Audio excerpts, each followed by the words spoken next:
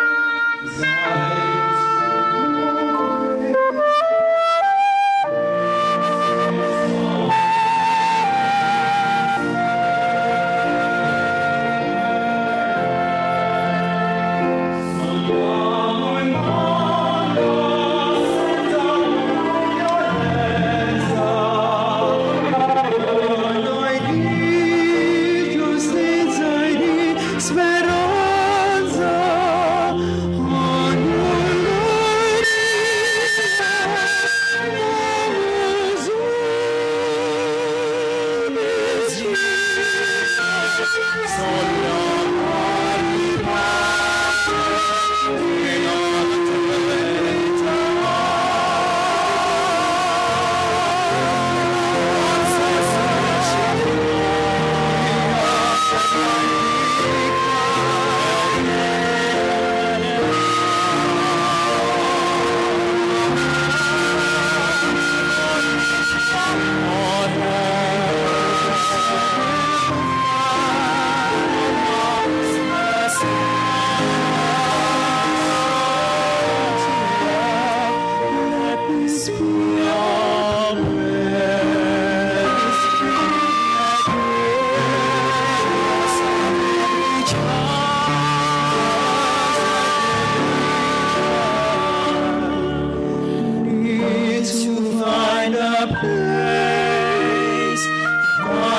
Funeral